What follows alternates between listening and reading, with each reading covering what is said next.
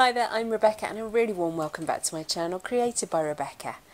In this week's video we are going to be unboxing a Jackson's haul. Let's get started. Storm Eunice is currently raging in the background so if you hear weird wind noises or see the trees doing that then that's why. It's a bit crazy out there at the moment. Now I have already opened this box just to take the invoice out and make sure everything was here, which of course it is. As with all Jackson's boxes, they use paper tape, they don't use plastic tape, which is lovely, and the packing inside is crumpled up paper. And there are three things in this box. One, two, three. This is my very first Seawhite of Brighton sketchbook of any sort. This is the watercolour travel journal. It's 60 pages, 200 GSM, and it is a NOT or cold pressed finish.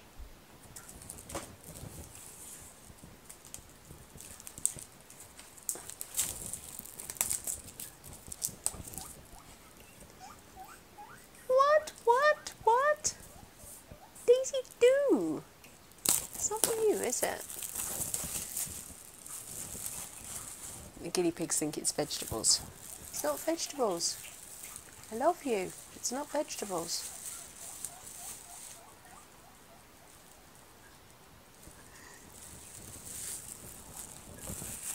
I have three guinea pigs. This is a hardback sketchbook which would be great for travelling because it gives you a solid surface to work on if you're trying to sort of sketch on the go. Has an elasticated strap and then a paper band around it just with the description of what it is. This is a case bound landscape format watercolour sketchbook which means that it opens up into what could be a really wide panorama.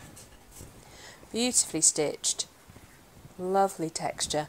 I will dial you in a little bit closer in a second so you can have a look. But yes, the idea is that you can use both sides of this paper. Lots of watercolour paper has only been prepared on one side, so you can never quite get the same results with your watercolours when you're working. This, however, is both sides. And if we go right to the back, there's a little pocket It's quite a big pocket actually. You could put memorabilia of your travels in the back of your sketchbook, so tickets to things, whatever you like really. Jackson's were having a paper sale, so I got this at £16.49. It is usually more than that. I'm hoping you will be able to just make out the texture. It's not a super duper textured paper, it is quite subtle.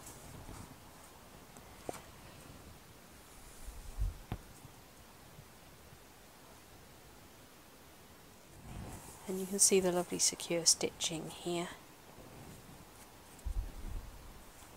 Oh, we also have one of those ribbon dividers, though I find once you start using a sketchbook you really don't need one of these because you can see which pages you're working on quite clearly. It is laying flat quite nicely in these early pages. Let's see how we do when we get into the middle. I mean, the, the book is lying flat. We've got a little bit of bounce here in the middle.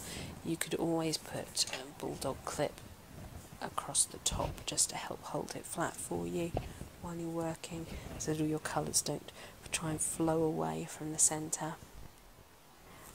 That feels like it might be a little tiny bit of adhesive on the stitching so you might just need to be aware of that when you're doing across pages this is essentially several books bound together. So I think there's at least four pads of folded paper that have then been stitched together again in the binding. So you've got, I believe, four chances of hitting a stitched section where you can see the stitching and there may possibly just be a tiny bit of adhesive.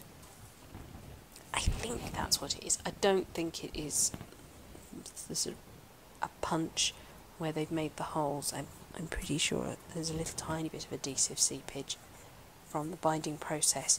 But you have got all the other sheets that don't have that. So you could do across the spread on one of these quite happily.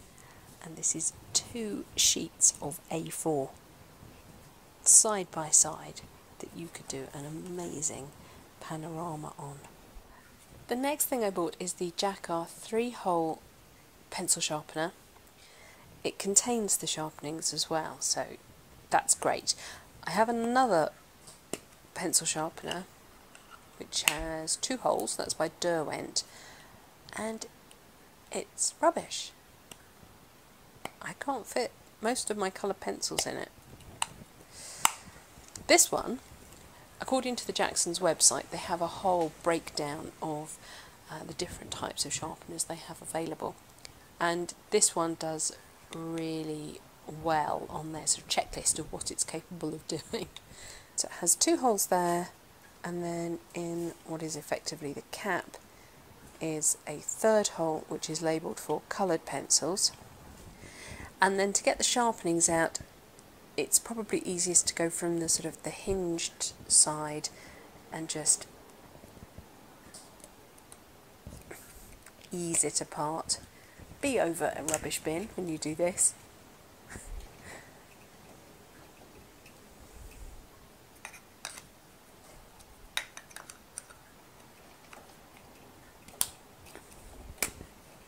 and there's the other side.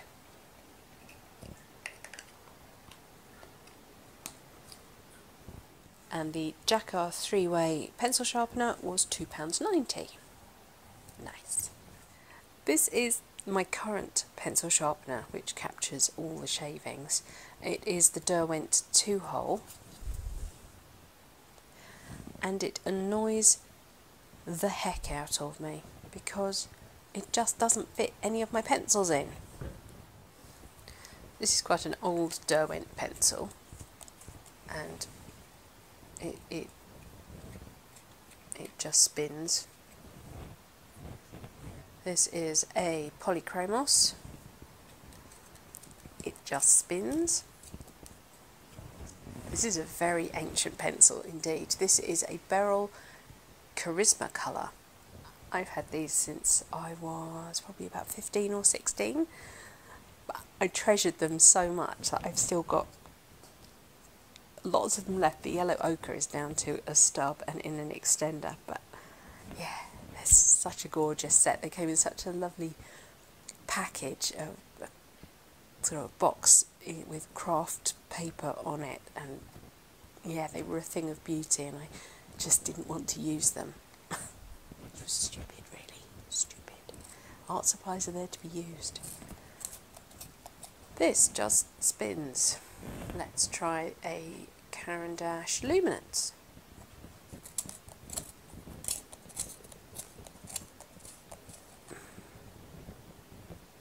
Nope. I have to sharpen that one with a knife at the moment. And then let's try the Derwent drawing pencil. Surely, it's a Derwent pencil. It should fit, surely.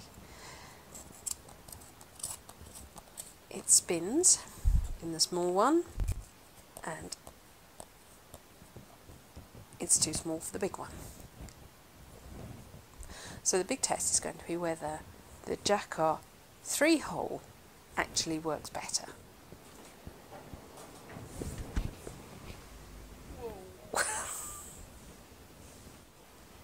Here is a polychromos that I have had to knife sharpen. You can see that the tip is quite blunt because you can see shine on it and you can see the uneven um, carving from using a knife.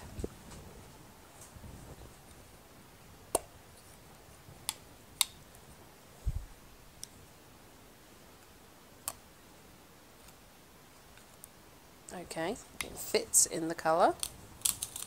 Oh, it's making good noises.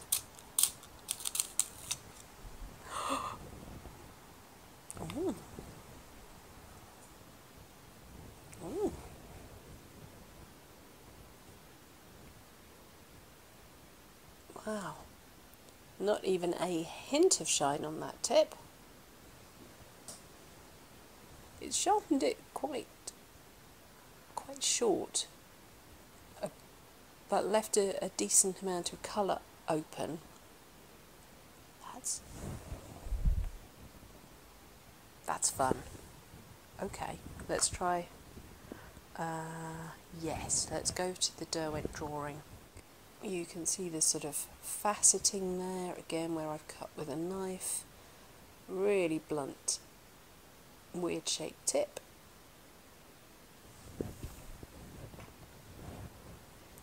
Let's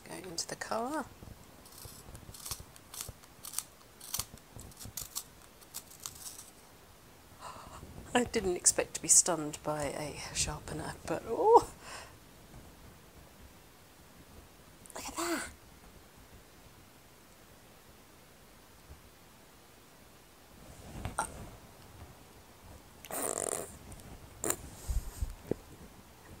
And as I like to use my coloured pencils in a sketchbook while I'm sitting on the sofa, that means that I can sharpen them as well without getting shavings everywhere Yes. Oh, that's fantastic. Okay, uh, so let's try my my ancient charis- karisma colour. Karisma. Karisma colour. Yes.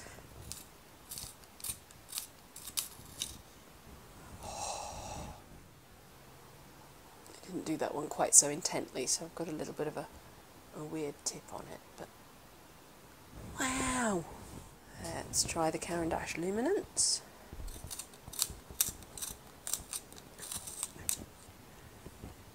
The fact that it fits all these different coloured pencils is fantastic. Yeah, a little bit of swarf on that one, so I'm just going to run that round in my palm. Oh gosh, that's perfect.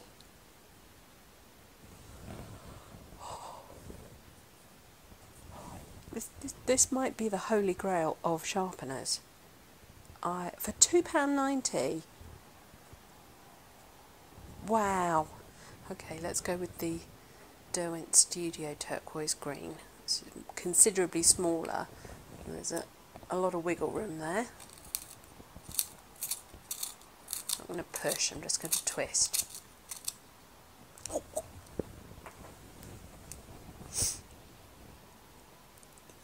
Yes.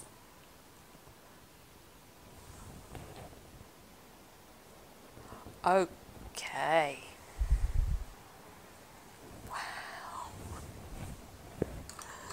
Have I got any other sorts of pencils in here that we need to be looking at? I've done that. So we've also got a couple of Derwent Lightfast.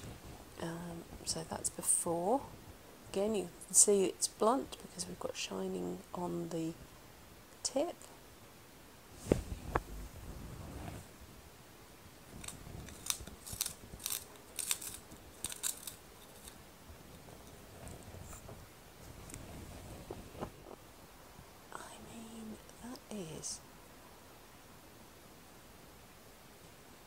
That is literally perfect.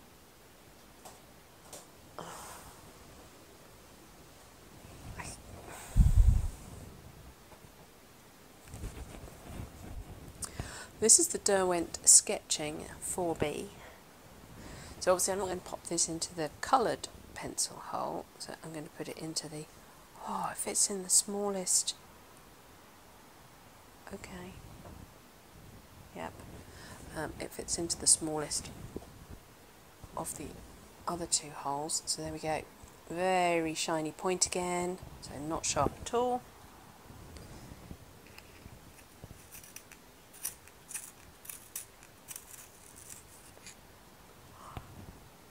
Yeah. Oh my word. So the colour pencil sharpener has a, a plastic body, the normal graphite has a metal body, hence why one is black and one is silver.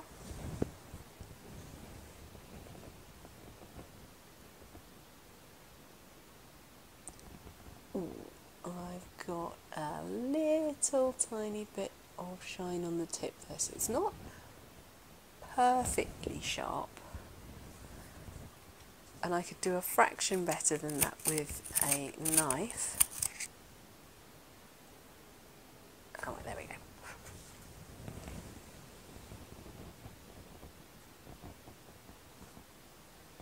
There we go. Wow.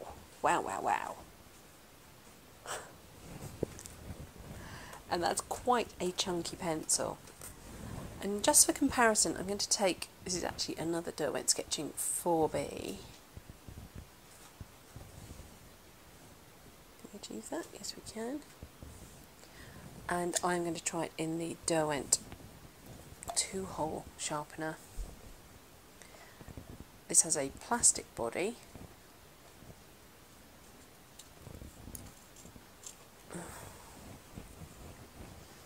I think this is just a dud sharpener. I don't know. So it's just spinning. I will not take it out of shot for you.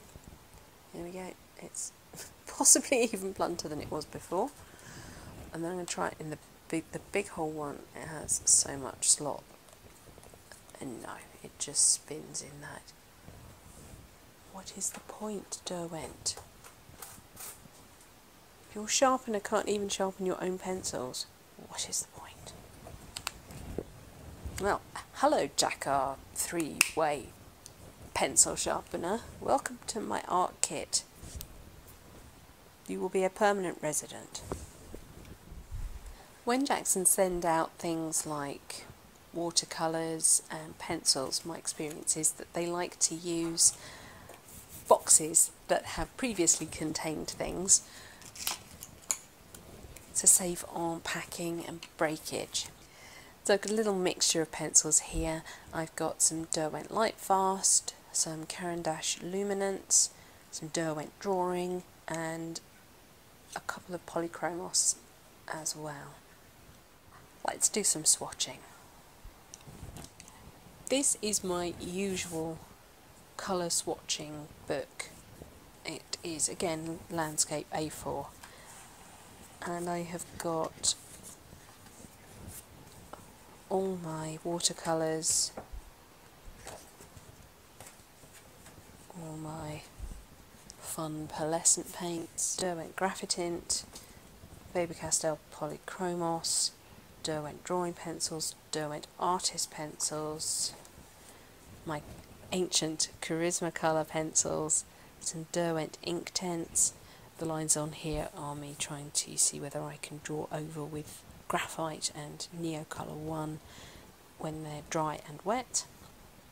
I've got my Jo Sonja colours and I've got my colour chart that I did for my portable painter palette checking out what colours I was going to use in that and the absolutely scrummy Schmincke Horadam super granulating watercolours on this paper which is cellulose and some 100% cotton watercolour paper just to see the difference in the swatching. The first pencil we're swatching here is the Caran Luminance Naples Ochre. Sometimes you want that perfect clotted cream colour and it's really hard to achieve by just using a yellow really softly or blending a white over the top of a yellow. This colour is gorgeous.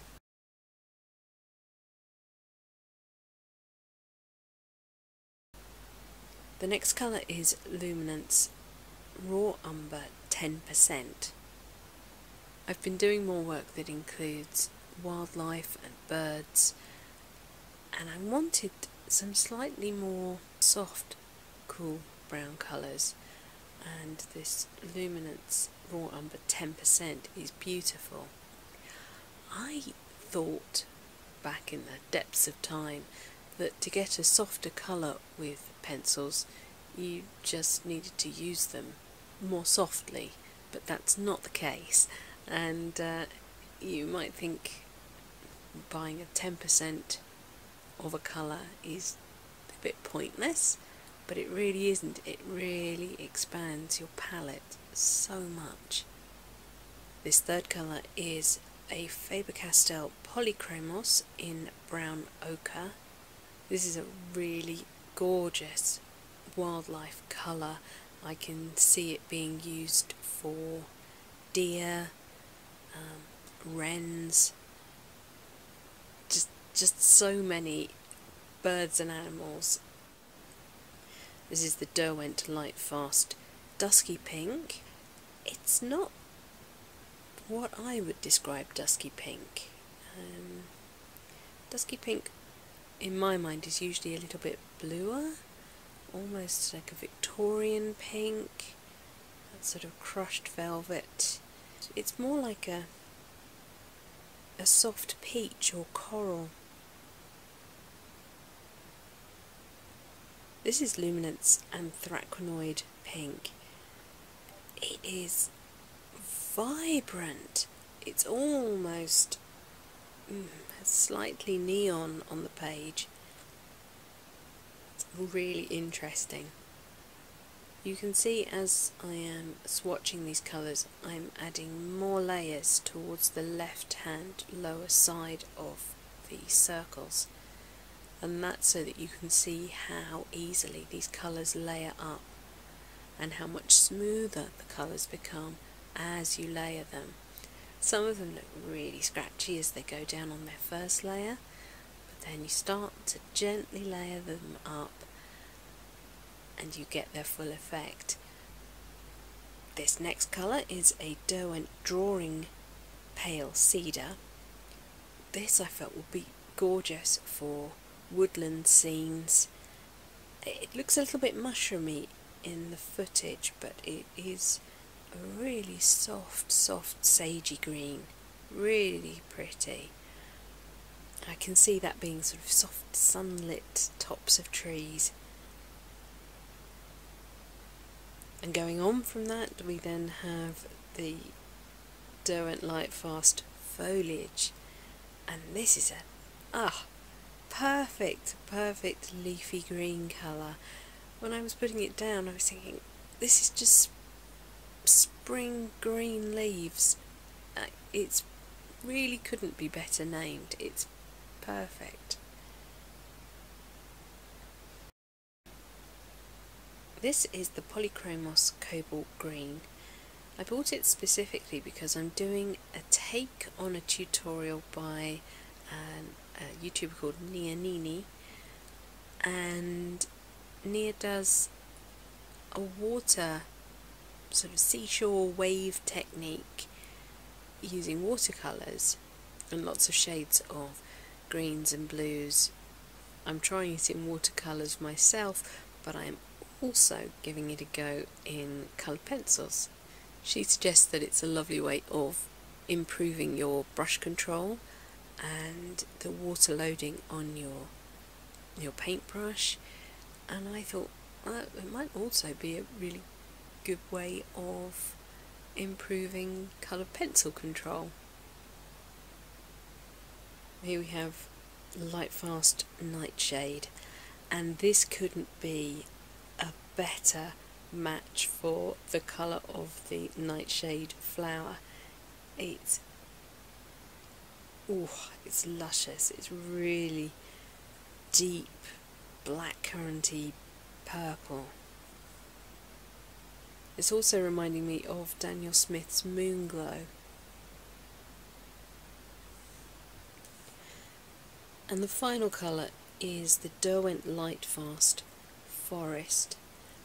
I knew what colour it was going to be when I ordered it, but when it actually arrived it did throw me through a bit of a loop.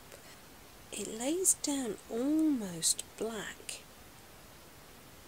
but then you start to see hints of burnt umber, hints of foresty greens, which would make sense because it's called forest. I guess it's evoking the deep shade that you get in real thick forest.